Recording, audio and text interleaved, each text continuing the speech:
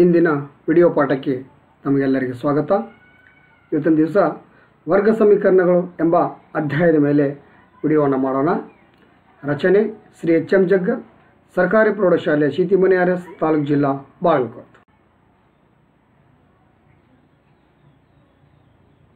So ಇವಾಗ ಅಪವರ್ತನ ವಿಧಾನವನ್ನು ತಿಳಿದುಕೊಳ್ಳೋಣ root two x square plus seven x plus five root two is equal to zero ಸಮೀಕರಣದ ಮೂಲಗಳನ್ನು ಅಪವರ್ತನ ವಿಧಾನದಿಂದ ಬಿಡಿಸಿರಿ ಅಂತ ಹೇಳ್ಯಾರ. ಸೊ ಪರಿಹಾರ ಕೊಟ್ಟಿರ್ತಕ್ಕಂಥ ಸಮೀಕರಣವನ್ನು ಬರೆದುಕೊಳ್ಳೋಣ. ಮೊದಲಿಗೆ ಮೊದಲ ಪದ ಮತ್ತು ಕೊನೆಯ ಪದವನ್ನು ಗುಣಾಕಾರ ಮಾಡಬೇಕಾಗತ್ತೆ ನಾವಿಲ್ಲಿ. ಸೊ ಇಲ್ಲಿ ಮೊದಲ ಪದ ರೂಟ್ ಟು ಅದ.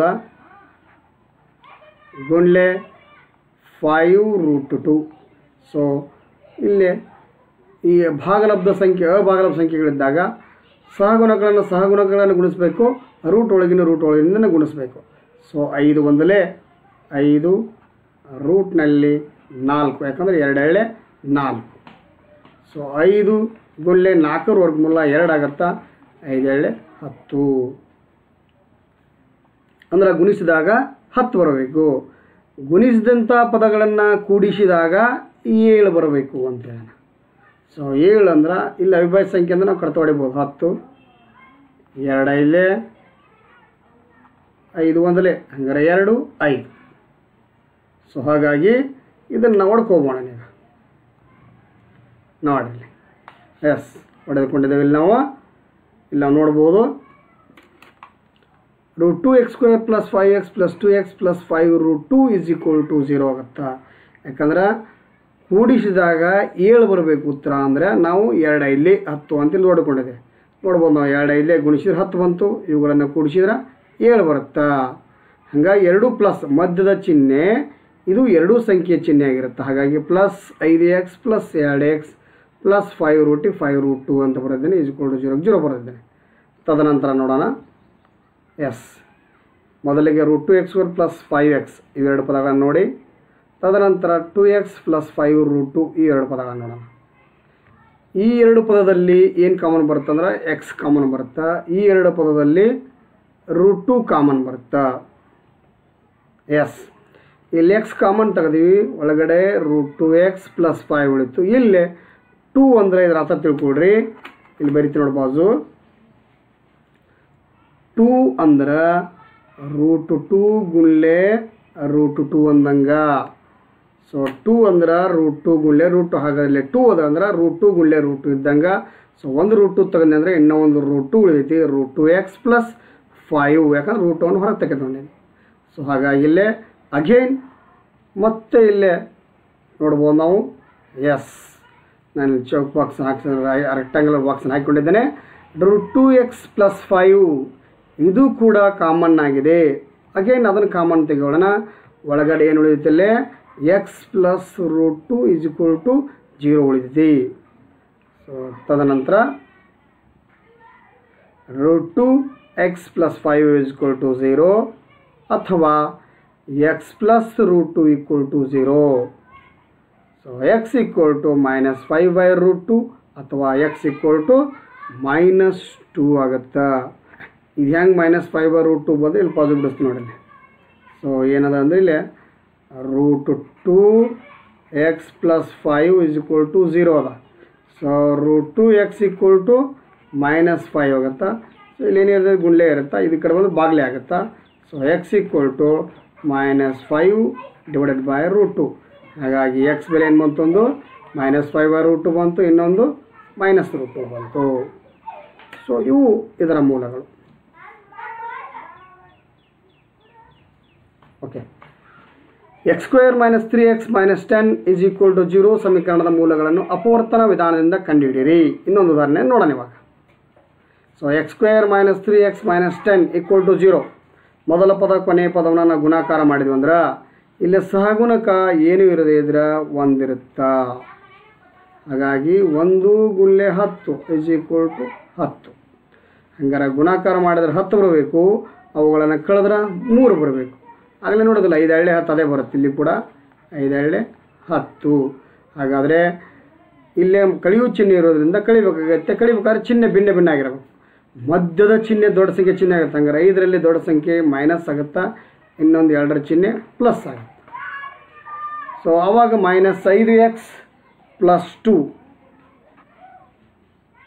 ಸೊ ಇವಾಗ ನೋಡಿರಿ x squared minus five x plus two x minus ten equal to zero ಆಯ್ತು ಇದು ಹೌದಾ? Minus five x plus two x ಇವು ಎರಡರಲ್ಲಿ ಕಾಮನ್ ತೆಗೆಯೋಣ ಇವಾಗ. ತದನಂತರ ಇವು ಎರಡರಲ್ಲಿ ಕಾಮನ್ ತೆಗಿಬೇಕು. ಸೊ ಒಂದೇದ್ರೊಳಗೆ ಎಕ್ಸ್ ಕಾಮನ್ ತೆಗಿತೀವಿ. ಎಕ್ಸ್ ಮೈನಸ್ ಫೈವ್ ಆಗುತ್ತಾ ಪ್ಲಸ್ಸಿಗೆ ಪ್ಲಸ್ ಹಾಕಿದ್ದೀನಿ. ಇಲ್ಲಿ ಟೂ ಕಾಮನ್ ಬರುತ್ತೆ. ಟೂ ಕಾಮನ್ ತೆಗೆದಾಗ ಎಕ್ಸ್ ಮೈನಸ್ ಫೈವ್ ಸೊ ಇಲ್ಲಿ again x minus five x minus five ಮತ್ತೆ ಕಾಮನ್ ಬರ್ತಾ ಇದೆ. ಸೊ ನಾನು ರೆಕ್ಟೋಲ್ ಬಾಕ್ಸ್ ಹಾಕಿದ್ದೆ, ನೋಡ್ಬೋದು. ಮತ್ತೆ ನಾ ಎಕ್ಸ್ ಮೈನಸ್ ಫೈವನ್ನು ತೆಗೆದಾಗ ಒಳಗಡೆ ಏನು ಉಳಿದೈತಿ x plus two is equal to zero ಆಯಿತು. ನೆಕ್ಸ್ಟ್ ಸುಲಭ ರೂಪ ಕೊಡೋಣ. X minus five is equal to zero ಅಥವಾ x plus two equal to zero so minus five ಈ ಕಡೆ ಹೋದ್ರೆ ಪ್ಲಸ್ ಫೈವ್ ಅಥವಾ x equal to minus two ಯಾಕಂದರೆ ಮೈನಸ್ ಫೈವ್ ಈ ಕಡೆ ಬಂದಂತೆ ಪ್ಲಸ್ ಫೈವ್ ಪ್ಲಸ್ ಟು ಈ ಕಡೆ ಬಂದಂತೆ ಮೈನಸ್ ಟು ಹಾಗಾಗಿ ಇದರ ಮೂಲಗಳು ಐದು ಮತ್ತು ಮೈನಸ್ ಎರಡು ಆಗಿವೆ.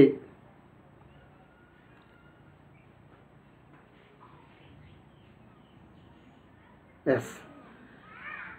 Two x squared minus x plus one by eight equal to zero ಸಮೀಕರಣದ ಮೂಲಗಳನ್ನು ಅಪವರ್ತನ ವಿಧಾನದಿಂದ ಕಂಡುಹಿಡಿಯಿರಿ ಅಂತೇಳಿರ so two x squared minus x plus one by eight equal to zero ದತ್ತ ಸಮೀಕರಣವನ್ನು ಪಡೆದುಕೊಂಡಿದ್ದೇನೆ ಸೊ ಇಲ್ಲಿ ಲಸ ತೆಗೆದೆ ನಾನು. ಲಸ ತೆಗೆದಾಗ ಇಲ್ಲಿ ಕೆಳಗಡೆ ಏನಿಲ್ಲ ಒಂದಿರುತ್ತೆ ಇಲ್ಲಿ. ಸೊ ಇಲ್ಲಿ ಒಂದಿರುತ್ತೆ ಈ ಕಡೆ. ಸೊ ಎಲ್ಲ ಕಡೆ ಒಂದಿರುತ್ತೆ. ಸೊ ಇಲ್ಲಿ ಒಂದಿರುತ್ತೆ ಛೇದದಲ್ಲಿ, ಇಲ್ಲಿ ಒಂದಿರುತ್ತೆ. ಸೊ ಲಸ ಎಂಟು ಮಾತು ಇಲ್ಲೇ ಒಂದ, ಎಂಟಲೆ. ಇಲ್ಲಿ ಕೂಡ ಒಂದ, ಎಂಟಲೆ. ನಂತರ ಗುಣಿಸ್ತೀವಿ ಎಂಟೇಳೆ, ಹದಿನಾರು ಎಕ್ಸ್ ಸ್ಕ್ವೇರ್ ಮೈನಸ್ಗೆ ಮೈನಸ್ಸು, ಎಂಟು ಎಕ್ಸ್ಲ ಎಂಟು ಎಕ್ಸ್ ಪ್ಲಸ್. ಇಲ್ಲೇ ಎಂಟ ಒಂದಲೇ ಆಗುತ್ತಾ, ಒಂದೊಂದಲೆ ಒಂದು. ತದನಂತರ ಇದಕ್ಕೆ ಸರಳ ರೂಪವನ್ನು ಕೊಡೋಣ. ಎಸ್. ಹದಿನಾರು X square minus eight X plus one equal to zero ಆಯ್ತು. ಯಾಕಂದ್ರೆ ಈ ಭಾಗಲೇ ಎಂಟು ಈ ಕಡೆ ಬಂದರೆ ಗುಳ್ಳೆ ಎಂಟಾಗುತ್ತೆ ಸೊ ಜೀರೋ ಎಂಟ್ಲೆ ಜೀರೋ ಆಗಿಬಿಟ್ಟಿರ್ತದೆ ನೆಕ್ಸ್ಟ್ ಹದಿನಾರು x squared minus four x minus four x plus one equal to zero. ಯಾಕಂದರೆ ಮೊದಲ ಪದ ಮತ್ತು ಕೊನೆಯ ಪದವನ್ನು ಗುಣಿಸಿದಾಗ, ನೋಡೋಣ ಇಲ್ಲಿ ಮಗಳು ಬಿಡಿಸ್ತೀನಿ. ಓಕೆ ಹದಿನಾರು ಗುಣ್ಲೆ ಒಂದು ಇಸ್ ಈಕ್ವಲ್ ಟು ಹದಿನಾರು ಬರುತ್ತೆ. ಈ ಹದಿನಾರನ್ನು ಅವಿಭಾಜ್ಯ ಸಂಖ್ಯೆಯಿಂದ ಕಡಿತ ಹೊಡೆದಾಗ ಎರಡು ಸೊ ಎರಡು ಎಂಟ್ಲೆ ಎರಡು ನಾಲ್ಕಲೆ ಎರಡು ಎಳ್ಳೆ, ಎರಡು ಒಂದೇ. ಅವಾಗ ಇಲ್ಲಿ ನೋಡ್ಬೋದು ನಾವು, ಎರಡು ಎರಡು ನಾಲ್ಕು ಆಗುತ್ತಾ? ಇವು ಎರಡು ಎರಡು, ನಾಲ್ಕು ಆಗುತ್ತೆ. ಹೌದಾ? ನಾಲ್ಕು ನಾಲ್ಕಲೆ ಹದಿನಾರು. ಸೊ ಕೂಡಿಸಿದ್ರೆ ಎಷ್ಟು ಬರಬೇಕು? ಎಂಟು ಬರಬೇಕು. ಹಾಗಾಗಿ, ನಾಲ್ಕು ನಾಲ್ಕು ಕೂಡಿಸಿದ್ರೆ ಎಂಟು ಬರುತ್ತೆ. ಹಾಗಾದರೆ ಕೊನೆಯಲ್ಲಿ ಪ್ಲಸ್ ಇದ್ದರೆ ಮಧ್ಯದ ಚಿಹ್ನೆ ಎರಡು ಸಂಖ್ಯೆ ಚಿಹ್ನೆ ಆಗುತ್ತೆ.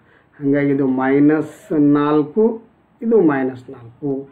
ಅದನ್ನೇ ಅಲ್ಲಿ ಬರ್ಕೊಂಡಿದ್ದೀನಿ. ಮೈನಸ್ ನಾಲ್ಕು ಎಕ್ಸ್ ಮೈನಸ್ ನಾಲ್ಕು x plus one equal to zero ಇದಕ್ಕೆ ಮತ್ತು ಸರಳ ರೂಪವನ್ನು ಕೊಡೋಣ. ಎಸ್ ಇಲ್ಲಿ ನಾವು ಒಂದೇ ಪದದೊಳಗೆ ನೋಡುವ, ಒಂದೇ ಎರಡು ಪದಗಳ ಗುಂಪದ ಅಲ್ಲಿ ನೋಡ್ಬೋದು ನಾವು. ಸೊ ಅಲ್ಲಿ ಏನಾಗತ್ತಂದ್ರೆ ಈ ಹದಿನಾರು ಎಕ್ಸ್ ಸ್ಕ್ವೇರ್ ಮೈನಸ್ ನಾಲ್ಕು ಎಕ್ಸ್ ಒಳಗೆ ನಾಲ್ಕು ಎಕ್ಸ್ ಕಾಮನ್ ತೊಗೊಂಡ್ಬಿಡ್ತೀವಿ. ನಾಲ್ಕು ಎಕ್ಸ್ ಮೈನಸ್ ಒನ್ ಉಳಿದೈತಿ ಮತ್ತು ಅಗೇನ್ ಇಲ್ಲಿ ನೋಡಿ, ನಾಲ್ಕು ಎಕ್ಸ್ ಪ್ಲಸ್ ಒನ್ ಯಾವ ಮಗ್ಗೆ ಹೋಗೋದು ಇದ್ರೆ ಒಂದು ಅಪ್ಪ ಒಂದು ಕಾಮನ್ ಬರುತ್ತಲ್ಲೇ. ಸೊ ಮೈನಸ್ ಒಂದು ಬ್ರ್ಯಾಕೆಟ್ನಲ್ಲಿ four x minus one equal to zero ತದನಂತರ ಮತ್ತೆ ಇದಕ್ಕೆ ಸರಳ ರೂಪವನ್ನು ಕೊಡೋಣ. ಇವಾಗ ಎಸ್ ಮತ್ತು four x minus one common ಬರ್ತಿಲ್ಲ ಇಲ್ಲಿ.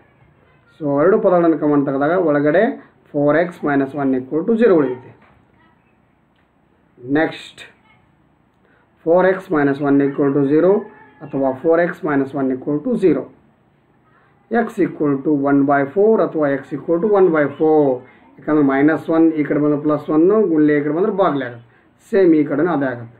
ಸೊ ಇಲ್ಲಿ ಇಜ್ಕೋಲ್ ಟು ಝೀರೋ ಬರ್ಕೋಬೇಕಾಗತ್ತೆ ನಾವಿಲ್ಲಿ. ಇಜ್ಕೋಲ್ ಟು ಜೀರೋ ಮಿಸ್ ಆಗಿತ್ತು ಇಲ್ಲೇ. ಸೊ ಇಲ್ಲೇ equal to zero so four x minus one equal to zero ಅಂದ್ರೆ four x equal to one ಆಗುತ್ತಾ. ಇಲ್ಲೇ ನಾಲ್ಕು ಈ ಕಡೆ ಬಂದರೆ ಬಾಗ್ಲೆ ನಾಲ್ಕು. ಹಾಗಾಗಿ x equal to one by four ಅಂತ ಇದು ಬರುತ್ತೆ ಓಕೆ ಸೊ ಹಾಗಾಗಿ two x squared minus x plus one by eight equal to zero ಸಮೀಕರಣದ ಮೂಲಗಳು ಒನ್ ಬೈ ಫೋರ್ ಮತ್ತು ಒನ್ ಬೈ ಫೋರ್ ಆಗಿವೆ. ಧನ್ಯವಾದಗಳು.